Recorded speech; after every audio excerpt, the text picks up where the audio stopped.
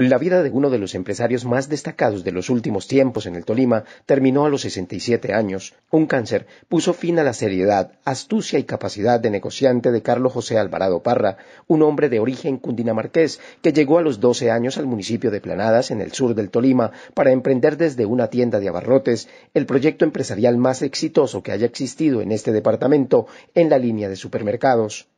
El empresario Carlos José Alvarado representó para el Tolima el ejemplo de un empresario ejemplar, emprendedor,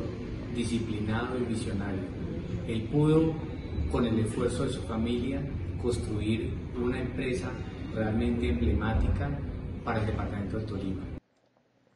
Al próspero pero sencillo hombre que logró crear la cadena de supermercados Mercacentro, siempre lo impulsó su amor por la familia, Hortensia Molina, su esposa, ha sido su eterna compañera y con ella no solo construyó su emporio comercial, sino que conformó una sólida familia con siete hijos a quienes educó bajo los principios de la humildad, el emprendimiento y el amor por lo nuestro. Decirle que don Carlos deja en nosotros una huella imborrable por su estilo de trabajo, por su forma de ser tan sencilla, por su carácter, por su forma de ser humana, por poner siempre por delante su familia y nuestra región por encima hasta de sus propios intereses.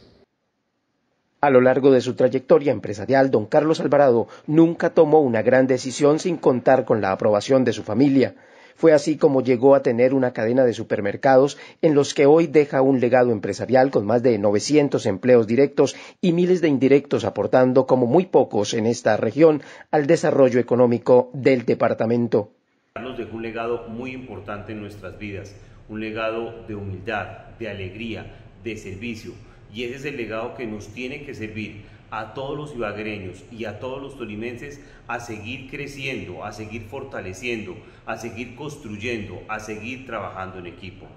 Uno de los capítulos más tristes de su vida tuvo que enfrentarlo desde la cárcel en el año 2010, cuando injustamente fue acusado de ser testaferro de la entonces guerrilla de las FARC, pasando seis meses en prisión junto a sus hermanos Gerardo y Jaime, quienes recobraron la libertad al comprobarse que las acusaciones no tenían sustento jurídico para mantenerlos detenidos.